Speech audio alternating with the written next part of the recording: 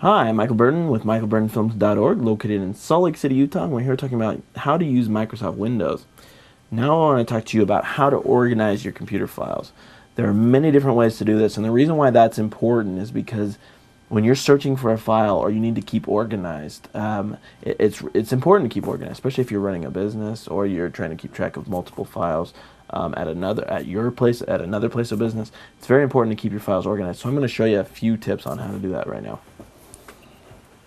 Let me start out by saying that Windows XP is a registered trademark of Microsoft and I am in no way affiliated with Microsoft. There are a lot of ways uh, to organize your files on your computer. Um, I think the the easiest, simplest way to start out with is just to be efficient in labeling and um, and naming your files and keeping them in separate folders. The more folders you create, uh, the better the better your, your stuff is going to be organized because you'll be able to specify exactly what those folders are called. You can have folders within folders. You can label any of your files anything you want.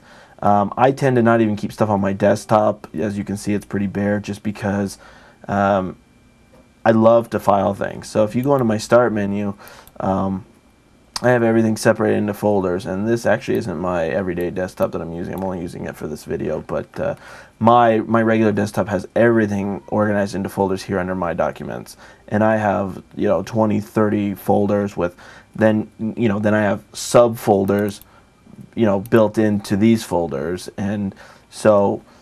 Uh, it's un- it's an unlimited potential as to how many folders I can create and what I can label things as. Um, a few tips on how to label files. Uh, for example, let's take this HD opener. Um, if I want to rename a file, um, sorry, one of the e easiest ways to get your files to appear at the top of a list is to start them off with an AAA and then label it. Um, let's just say labeled labeled file. That way you know if this is your most commonly used file or you have certain files that are in a folder with a ton of files, that your most used files are always going to appear at the top and you're not going to have to scroll down every time to where in this case it would be the L's to find your labeled file. Uh, you, it would automatically appear at the top all the time. Uh, again, the same goes for if you want files that you don't use too often to always appear at the bottom and not necessarily alphabetical order either.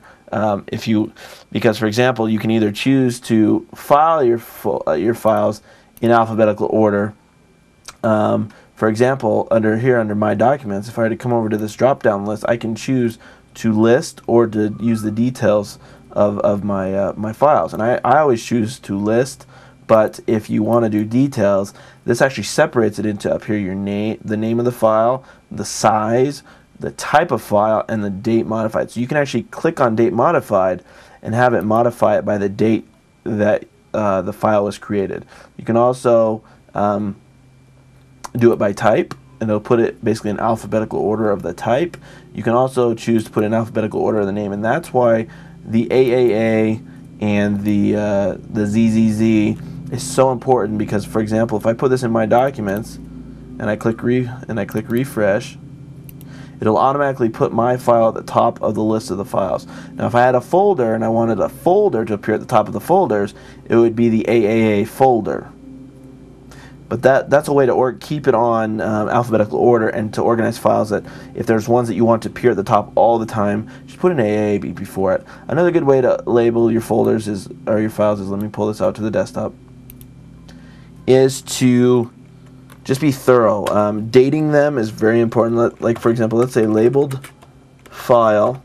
Let's do an underscore and then we'll put in the date today, which is, uh, what is the date today? Today is the 20th, 21st of August. So we're going to put, uh, you know, uh, 08 underscore 21st, and that's going to be 2008.